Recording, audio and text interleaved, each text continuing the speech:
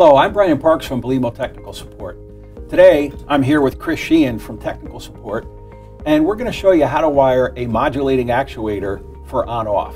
Chris? Thank you, Brian.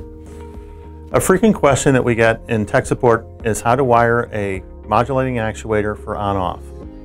These modulating actuators could be designated as dash SR or dash MFT, which would be multifunction technology.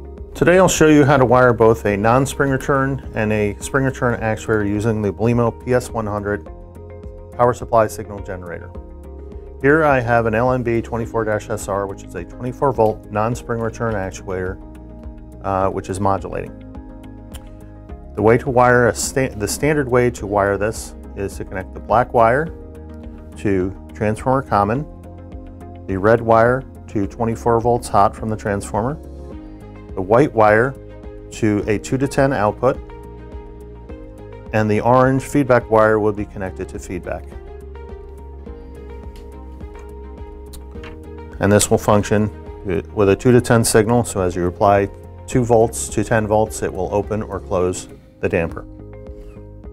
To wire for on-off, we're going to disconnect our control output and our feedback wire and our control output white wire will now be connected to 24 volts hot.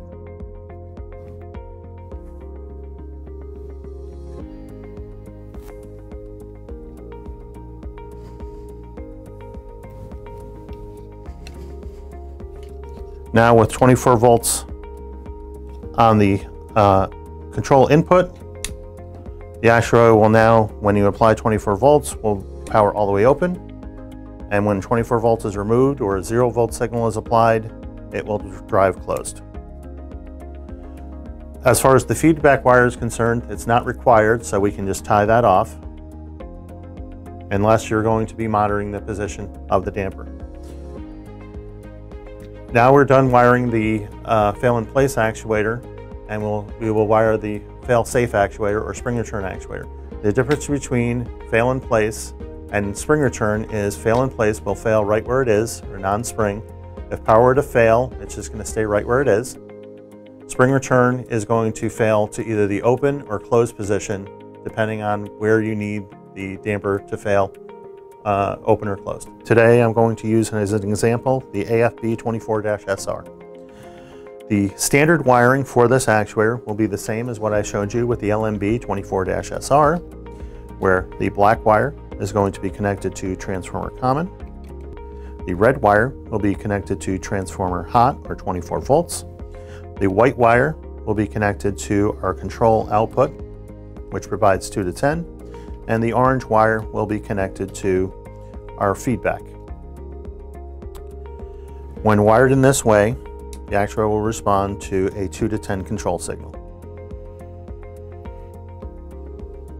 Now, to wire the actuator for on-off, we're going to leave the black and red wires uh, connected to transformer common and hot.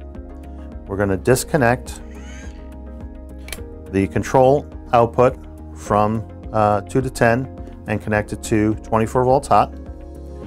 Depending on your application, you may want to connect the feedback wire or leave it disconnected. The feedback wire is not required for the actuator to actual function and we're going to tie that off. So two ways that we can, we can have the AFB 24-SR function uh, for on-off. Uh, can apply 24 volts to the white input and that will drive it open when 24 volts is applied or drive it closed when 24 volts is removed. So the motor is powering it open or closed. A second way to wire this, which is sometimes more popular, is to have the 24 volts applied and that will drive the actuator open and then we'll use the spring return as a means to have the actuator fail, whether that be open or closed. Hey Chris, thanks for that great video today. You're welcome. Thanks for watching. If you have any questions, please call Belimo Technical Support at 1-800-543-9038 or you can go to www.belimo.us and find more information about these products there. Please be sure to like this video and continue watching the Belimo YouTube channel.